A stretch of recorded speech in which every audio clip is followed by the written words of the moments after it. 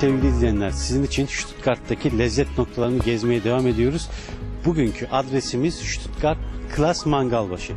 Bugün Klas Mangalbaşı'nda kahvaltıya geldik. Kahvaltıda neler var hep beraber göreceğiz.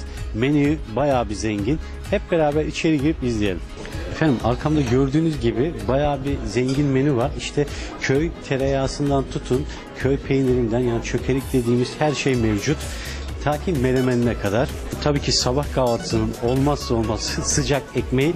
Fırında sıcak ekmeğimiz gördüğünüz gibi sabah kahvaltısında sıcak bir ekmekte kahvaltı yapmanız da mümkün.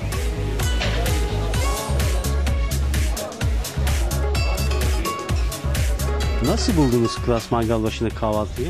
Gayet güzel, mükemmel. Ee, Sanırım sık sık geliyorsunuz. Yani. Peki ee, kahvaltı çeşidi bayağı bir bol sanırım. Evet. En çok neyi beğeniyorsunuz?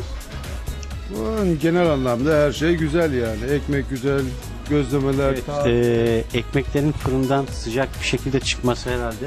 yani işte Gözlemeler falan.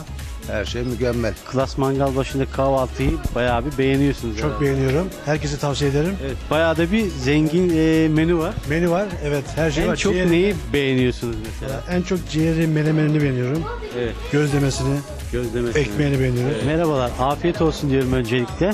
Nasıl? Klas'ın kahvaltılarını beğeniyor musunuz? Beğeniyoruz evet. Her pazar buradayız. Hemen hemen her pazar buradasınız. Evet.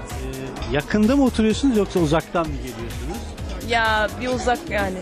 Uzaktan ama yine de kahvaltı için buraya kadar geliyorsunuz. Evet değiyoruz çünkü. Mesela Klas'ın kahvaltısında en çok neyi seviyorsunuz?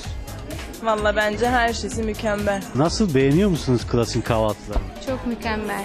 Çok zengin kahvaltısı her şey bulunuyor. Yani gördüğünüz gibi e, saç böreği de çok mükemmel.